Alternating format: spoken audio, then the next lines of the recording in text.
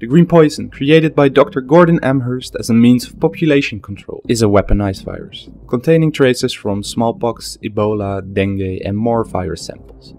Although some people are immune, roughly 90% of the population isn't, leading to the authorities desperately seeking methods to combat the virus. Due to the rapid mutation of the virus, it is highly difficult for conventional drugs or antibody to identify and exterminate the virus, as well as create a proper vaccine to the disease.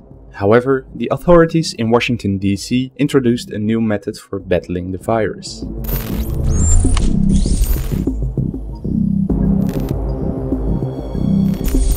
After attempts to eradicate the virus failed, quarantined areas, better known as dark zones, formed and an insufficiently tested chemical was deployed, DC-62. However, the chemical had unforeseen side effects, turned out to be just as lethal as the virus itself and left a path of desolation across concentrated areas of the city. Dark Zone West, located in Georgetown, being the testing ground for DC-62, got hit particularly hard by the chemical. The JTF drove DC-62 to the streets of Georgetown and other quarantine zones in large containers on the backs of trucks. The nature of the virus forced the JTF to apply to every surface found and signs indicated one, if not multiple of these tanks even exploded in the chaos. Streets, buildings, cars and everything that was within its radius is covered by the yellow substance and houses a yellow mist. But outside of these quarantine zones the chemical is found too.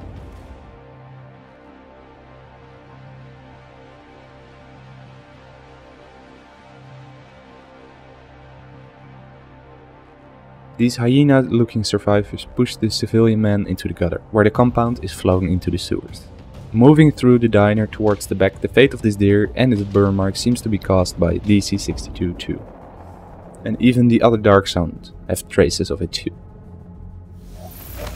What are you doing? We gotta get out of here. She needs help. That yellow shit is blowing all over the place. You wanna next? We can't just leave her. One of the JTF officers, Sierra Thompson, has been contaminated with DC-62, indicated as yellow shit. Another officer, Bradley Anderson, attempts to help Sierra up, but is convinced otherwise by a police officer, Macy Lee. If Macy's words are true, once you are contaminated by DC-62, you are as good as dead. Over time, the residue made its way underground in sewers and tunnels, one close by the crash site.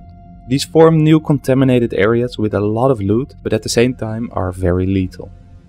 What exactly DC-62's effects are on the human body is unknown, but from intel it seems to have a caustic effect, resulting in second and even third degree burns when in contact with the skin and fur of humans and animals alike. ISAC detects it as a toxic chemical residue, meaning we better stay clear of it. Toxic chemical residue detected. It seems that the factions and the virus aren't the only things trying to kill you in DC. The quarantined areas, Dark Zone West in particular, as well as the underground and sewers, seem to be contaminated and will be high risk yet high reward areas.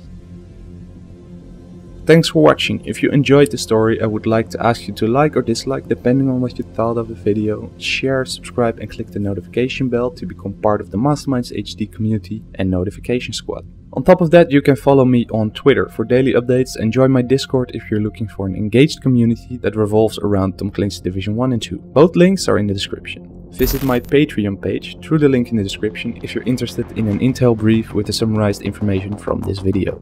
To end the video, I have a question for you. What do you think the story is behind the chemical compound DC-62? Leave your answer in the comment section down below and I'll make sure to get back to you. I'll talk to you in the next video on Discord or on Twitter. Peace out.